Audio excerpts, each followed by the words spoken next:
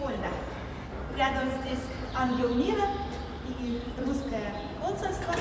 Каждое утро мы тут бегаем и уже третий год подряд наблюдаем вот эти лежанки.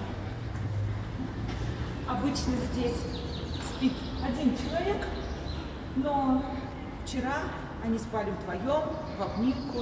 Мужчина, а рядом что-то такое небольшое.